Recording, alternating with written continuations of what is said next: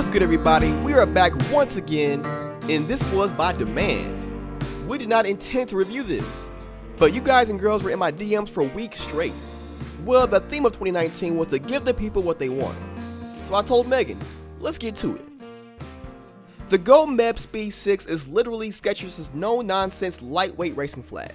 It's simple and to the point. But sometimes brands still find a way to mess things up, which is why we do what we do. This is our review of the Skechers Go Meb Speed 6. So in the upper, you got a translucent mesh that you may have seen in shoes like the Speed Trail Hyper or in my Skechers Speed Elite review. As far as the concept, it is as simple as it comes but it is very effective in holding your foot in place. You got some nylon mesh in the midfoot to add just a bit more structure around the midfoot. And near the heel, you got an external heel counter. It's sturdy and keeps the shoe stable enough to be effective when combined with the minimal upper. It's just enough to get the job done. And there's almost no padding in the heel cup, or anywhere else in the upper. But for the purpose of being a racer, we still found it comfortable. The shoe is very breathable, and my only gripe was that the mesh did take a couple of runs to break in. The toe box is about average, not wide and not narrow. So yeah, this has the typical fit of a traditional racing flat. Now the bread and butter of this shoe is the Hyperburst. And I'll go ahead and say it again, just in case this is the first time that you've heard of it. Hyperburst is life. As simple as the shoe is, the ride is fast, nimble, and has that extra bounce that many of us elite joggers like. It's a very light material, so you don't get that bottom heavy feeling that sometimes come with shoes with light uppers. When you put these on, you're going to feel fast, snappy, quick, responsive, all those buzzwords. The Speed 6 has that, but this goes without saying. You're not going to get a nice long run feeling of plushness and comfort. Now shoes like the Go Run Ride 8 or the Max Road 4 also has Hyperburst, and a lot more of it. Those are for comfort. The Speed 6 on the other hand is for speed. But unless you're one of those elite joggers who can really maintain that fast pace at extended distances, you might use this shoe from a road mile all the way to a half marathon. Personally, I think this is an ideal 5k 10k shoe. But hey, everyone is different. Now what actually surprised me was the inclusion of the Goodyear rubber throughout the outsole. I can't think of many shoes that are this light and still has that full coverage rubber. The grip on these did not fail us once, and there's always that part of me that just feels at ease knowing there's something protecting the shoe from the pavement. Now I know like half of you right now are like, Jamie, you forgot to mention the plate. Isn't there a carbon plate? The answer is no. But yes, there is no carbon plate. But there is a plate. But it is not like the carbon plates that you see in the Vaporfly, the Carbon X, or the Speed Elite. This is a Pebax plate sandwiched right between the midsole. If you look close, you can kind of see it and it helps keep the shoe fast and stable at faster speeds. So yes, it makes the shoe faster, but you're not going to get that crazy spring forward feeling that you get in other shoes, like the Vaporfly or Speed Elite. So the Speed 6 to me is exactly what it looks like. A no-nonsense, nice, fast, minimal racing flat. Maybe for a road mile, maybe a full marathon if you're one of those people. But one last important thing, and I wanted to leave this part for the end. This shoe for me did great when I went a half size up from my normal running shoe size. Meaning I went a half size up more than what I wear in my Razor 3s, my Nike Pegasus, and my Asics gels. Some people suggest going a full size up. I'm just saying going in at least a half size up is probably a good idea. But do you? So yeah, racing flats are fun. They are cool. And these do the job. So when it comes to the Skechers Go Meb Speed 6, your boy Jamie disapproves. Well done.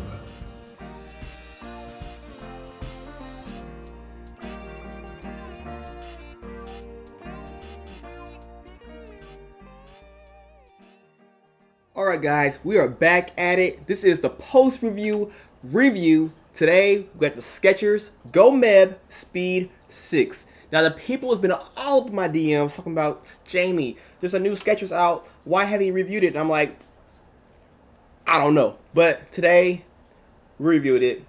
So you know my thoughts on the shoe. The Speed 6 is the lightweight racer. Oh, you can. Okay, here. Can I join in? Hi. So what do you think Why'd about? You start I just thought I, oh, I felt no. the momentum going. I, Okay. This is the GoMeb Speed 6 lightweight racing flat. No carbon plate crazy stuff happening. It's like simple to the point. But what do you think about it as a racing flat? I mean, it's it's a lightweight shoe. It's um, like you were saying, it's a simple shoe, very comfortable. Um, I I liked the the bounciness. You know, I liked that it has has a nice bend to it, flexible. Um, not much going on on the upper, which you know it just kind of disappears on your foot. Um, I didn't feel anything that it pinched me or anything. You know, it, it was just is very simple design and Did it feel secure? um yeah i mean i, I didn't feel like it was super secure. Um i felt like it was not gonna fall off at all. Um i felt like the heel cup was really nice. It has this has this nice plastic firm heel cup here. So my heel was staying in there and um i didn't feel like it was exactly hugging my foot like a glove but I have no issues with this shoe at all. I I think it was you know it's a really nice option as a uh, lightweight speed shoe. Yeah. Um, I think if you're someone who likes a speed shoe for like your track and field training where you're not wearing a spike, it can be used for that. Definitely, definitely. I kind of feel like for me it'd be a 5K, 10K road shoe. Mhm. Yeah. If you're if you're one of those guys or girls who can really go the speed and hold it for a long time, maybe you can go to a half marathon. But you know, that's not me. I'm not doing it, but you can. Yeah, I feel like it was comfortable enough that you could run a half marathon in it and um, not feel like it's too firm. It's the Hyperburst Magic, baby. Yeah. I love it- it this is foam's nice. like it's good in everything. We have the speed the speed trail I love here. that shoe. This has some of the hyperburst in the heel and the midfoot and some of the ultra fly, but yeah, this is a good shoe. I think Skechers is just killing it. They have Yeah. I mean the Go Run Ride 8 is like my daily trainer. These are solid. Um I do like the Speed Elite, which is the carbon plate Uh-huh. more and they didn't they're not out yet. They were gonna come out and then they didn't come out. But they're gonna So come you're just teasing us with this. Probably. Teaser. But I'll say that to say this. Like, this shoe was very similar. Mm-hmm. Like, take out the plate, Okay. It's almost the exact same setup. Nice. Like, the mono mesh, the hyperburst, even the feel. It's like you don't have that plate there, but Mm-hmm. sometimes the plate can be, like, a little much depending on, like, how far you're going. And I know everyone likes a plate, but So what does the plate do different than just the foams? it kind of gives you that propelling, like, sensation where the, you hit the hill, you're coming off, and it kind of, like, springs you. Okay. But sometimes you kind of lose, like, control. Mm. Like it starts to kind of do its own thing. The shoes run away from you? No, they don't run away from you, but it's just Ah, where about you go? I'm a away. I'm a, I'm an old school guy. It's like if you're fast, you can go, you can run fast. This Definitely. Is, this is the shoe that it's gonna run the way you run, and if you run fast, it's gonna go as fast as you want to go. Mhm. And I love how light it is. It is. Well. Okay. Okay. And very breathable. Just you can you can literally you can see my hands through this this mesh at the top here. That's how breathable it is. So keeps your foot nice and cool in the hot summer months. I think I'm gonna really enjoy this shoe for those those tempo runs. Anything you want to compare this to? Um, I had the Nike Streak. I kind of feel like it kind of in that realm of a Mhm. shoe, but this has much more of a better cushioning than that Nike Streak. Yeah. Um, what's that Reebok shoe? Uh, the Floatride, you have the pro. You Mhm. have the pro version the two hundred and fifty dollar Pebax foam. That thing's nice. It is. I'd say this is like a like a step down from it. Just it's this shoe is maybe maybe a little bit heavier. hmm Um, that thing's super light. that thing is is like air. But um, what is this shoe price point at? one forty. One forty. So two fifty for that, one forty for this. I mean, if I had to spend money on one shoe, I'm like, this is my racing flat. Mm-hmm. Two fifty is a lot of money for a racing flat. It's a very nice shoe. It's a very nice shoe. Um, this one I'd say is not quite as good, but definitely at the price point, I'd say this one is very much well worth it. Yeah, it's um, it's a really great shoe. Um, you know, I like how it fit on my foot. I always like the the wide Skechers toe box. Um, I'd say maybe I wish it would have kind of gripped around my foot a little bit more, especially for a speed shoe Mhm. that you don't want your foot moving around as much. But um, yeah, it just it felt felt really good. It's light. It's breathable. It's bouncy. I like bouncy. There's a lot of things right. Hmm It's so simple, and I people are like, "Oh, you're Skechers biased." I'm like, Skechers is just giving the people what they want. Yeah, simple shoes. Keep it simple. Simple, effective. Price points aren't like super crazy for what you're getting. It's I don't know. Like I'm trying to find one I just don't like. The Max Road 4 was like okay, hmm but these, the Speed Elites, the Go Run, the Ride 8s, the Go Runs were okay. So, you know, but the ones that are good are really good. Yeah. This is pretty good. One thing I said in the review, I'm gonna say it again. These run short. If you want to get a pair of these, please, I advise you to go half size up. Maybe a full size if you like your, you know, a little more room. But I want to half size up for my normal running shoes, mm-hmm. and it fit the way my other shoes fit Yes. And these are unisex sizing. So explain the sizing. What is your normal running shoe size? My normal running shoe size is a woman's size 9, and in these ones I wear a unisex size 8. All right. So one size down because it's conversion to men's. Since it fits a half size small, that makes sense to do it that way. Mm-hmm.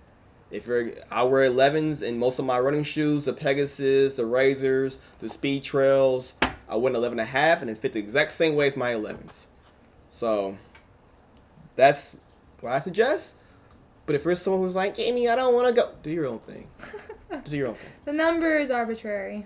Yeah, no one looks at your feet and go, hmm, you're a size nine. Oh no. Mm, I don't want your number. Oh, well, that sucks. Oh, one thing I will point out is this shoe does not have a removable sole. What do you mean? So if you're one to put in um, insoles into all of your shoes, you know, you might want to bring your insole with you when you try on these shoes just to see how the fitting works. Um, but yeah, that I mean that's pretty typical for lightweight shoes. Yeah, those, the, ra- the racing Mhm. flats typically never have a re- removable it, sock liner and sole, whatever you want to call them. This is just it's stitched in. Yep. Glued in. It in. I can't get it out. No. I'm gonna keep trying though. No, don't. Please don't. So links will be down below.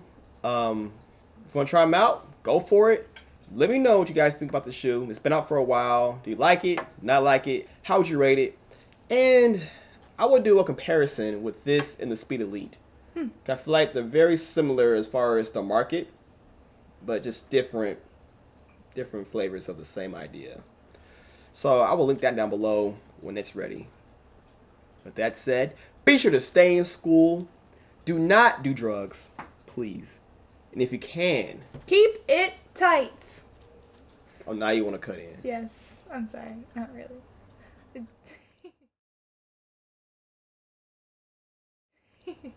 Um. Oh yeah. Follow us on Instagram if you like. If you have any questions, you can follow us on there. Uh, comment down below. We'll have photos of the shoes, but you can comment on any photo, and we'll respond to you pretty quickly if you have a question about comparison shoes, these shoes, other shoes we try. Um, just know a lot of times you see reviews of a person that's reviewing it with me. For example, Zach was in the review of this, but she clearly has this shoe, so she knows about the Speed Trail and the Speed Elite. So a lot of the shoes you see on the channel being reviewed, she has models of them too. So Because I like shoes. she likes she likes shoes. She runs a lot, so Mhm. she's uh, probably more of a guru than I am. I don't know. I think you are a, uh, like, a very, very smart man. A smart man. Yeah. But I'm a troll. About a, a trolling smart I'm, man. I'm a troll. Maybe I, maybe I pretend to not know as much as I do. sometimes. What? Yeah. Oh no. They ask questions about stuff. I'm like, hmm. I don't know what you're talking about. no, She don't like- be They fooled. be like, Jamie, do you have the inside scoop of what's coming up? I'm like, I don't know anything about. Yes, he I don't know anything about the. I haven't even seen the Razor 4s. What? What do they look like? I don't know. I haven't seen them. Liar. It's I not- don't believe you. You can't call me a liar on my birthday. Another thing, can, can, I, can I get a like? Like, we filmed this on my birthday. he's he's the good. guy. we could have like been chilling and doing mm-hmm. nothing and eating like brownies, Brownies. and we did eat brownies. Yeah. Obviously. And we did kind of chill and do nothing today. Oh. But then we went out. And then we worked.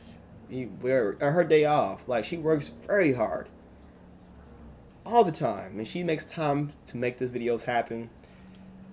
So Just for you. thank you. Well, for, for the people, For the people. No, For you. give the people they You. want, and You. hopefully they'll give back. Which I appreciate you guys and all the Patreons. Shout out to you guys holding it down. I know I don't upload as much as you guys want me to, but you know, we're what are we doing? We're holding it down. 2020, we're close. We're making it through. Let's go 2020. Woo! Almost there.